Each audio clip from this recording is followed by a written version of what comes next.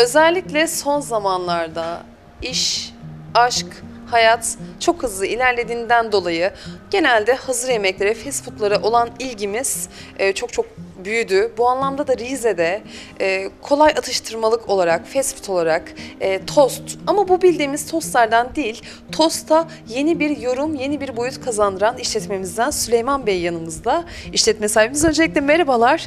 E, bizlere zaman ayırdınız. Programımıza konuk olduğunuz için e, merhabalar diyoruz. Teşekkür ediyoruz.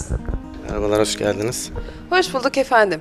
Ee, şunu sormak istiyoruz. Ee, öncelikle sektörde uzun zamandan beri tecrübeniz var. Ee, fakat tost olarak burada Rize'de ne zamandan beri hizmet gösteriyorsunuz? Biz e, asıl babadan gelme 86 yılından beri bu işi yapıyoruz. Ama tam faaliyet olarak bir buçuk yıldır hizmet veriyoruz.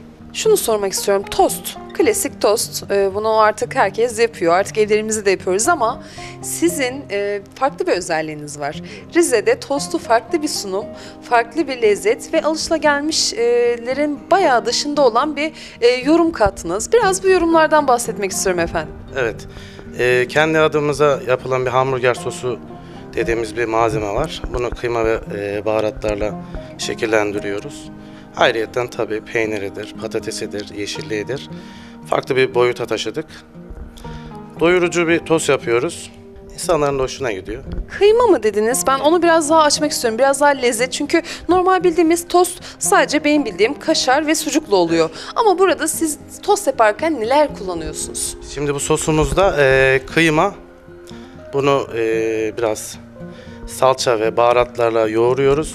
İşçiliği fazladır, zaman harcıyoruz. Ondan sonra işte kıvama getiriyoruz. Kıvama getirdikten sonra işte ekmeğin içine sürüp, pişirip, onu şekillendirip doyurucu bir tost haline getiriyoruz. Dereotlu tostumuz daha çok beyaz peynir ve kaşarla yoğun olarak içine dereotu. Tabi isteğe bağlı bunun içine domates ve biber tarzı ürünler ekleyebiliyoruz.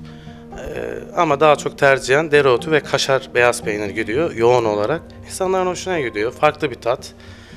Öyle de bir tostumuz var. İşte standart sucuk kaşarımız, salam kaşarımız, bu tarzı tostlarımız var. Sebzeli tostlarımız var. Et üründen uzak. Ne, ne kullanıyorsunuz sebze olarak? Sebze olarak e, yeşil biber kullanıyoruz, e, domates kullanıyoruz, turşu kullanıyoruz, patates kullanıyoruz. Beyaz peynir ya da kaşar ya da ikisi bir tercihe bağlı. Buna göre şekillendiriyoruz. Artı buna dereotu da ekleyebiliyoruz, maydanoz ekleyebiliyoruz.